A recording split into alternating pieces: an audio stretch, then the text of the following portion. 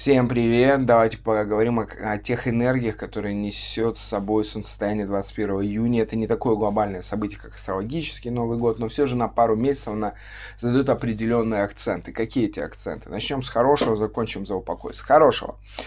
У нас тригон между Юпитером и Солнцем, причем Юпитер в хорошем для себя знаке. Он, он стационарен, то есть он такой медленный, его энергия такая внушительная. Это говорит о том, что будет оптимизм, будет какой-то такой, в общем-то, хороший настрой, это щедрость, желание праздника. Эм, это такой воодушевляющая, воодушевляющая энергия, плюс будет тригон Венера-Нептун, это тоже о помощи ближнему, каких-то творческих начинаниях начинаниях, каких-то религиозных устремлениях, и Юпитер, кстати, это тоже все поддержит. И вот тут надо понять, да, что если мы рассматриваем астрологию в таком в общем мировом ключе, то Солнце это лидер, элита, это те, кто управляют. И вот тут у них все получается хорошо. А что у нас, так сказать, с простым народом, который, которого символизирует Луна? А в Скорпионе, в плохом для себя знаке. На оппозиции к Урану, это значит противодействие нововведениям. Она в квадрате к Марсу, это значит нарастающая такая злобленность, э, протест. Она в квадрате к Сатурну, это про обнищание. Ну, это в общем таком мировом понятии. То есть мы видим, что, в общем-то, все будет по классике. Богатые будут богатеть, бедные беднеть. То есть все понятно.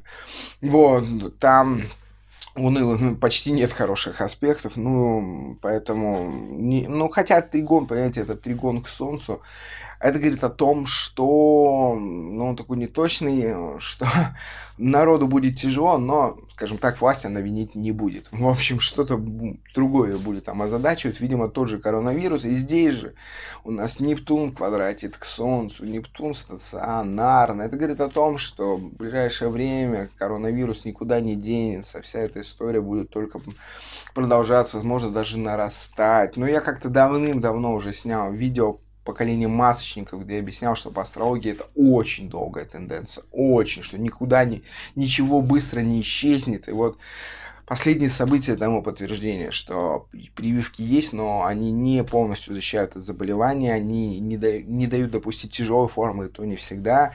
Вот. А что это значит? Что даже если все привьются, у нас все равно будет теперь корона, у нас будет ОРВИ, у нас будет грипп. То есть было два раньше ОРВИ да?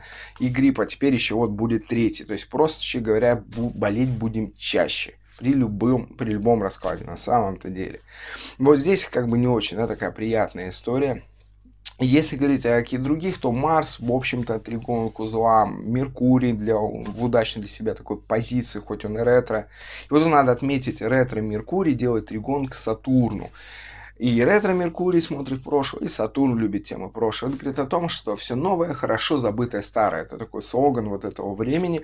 И оппозиция Луны к Урану говорит о том, что вот эти нововведения, вот это IT-прогресс, он, скорее всего, может подзамедлиться, потому что уже будет таким отталкивающим для, для людей. Они будут хотеть, чтобы все было по-старому, понятно им все, как они вот жили раньше там, и так далее. Это вот такая тенденция ближайших месяцев. Но главное, что на на самом деле нет особо критичных аспектов. Это говорит, э, что, в общем-то, не все так плохо. Единственное, там Бетельгейз, но оно на переходе, но в любом случае будет задействовано в, в современном мире благодаря рецессии. В общем, а, тема военных, э, государственной службы будет в приоритете, скажем так. То есть все указывает на то, что власти, государственные структуры, они в фаворе.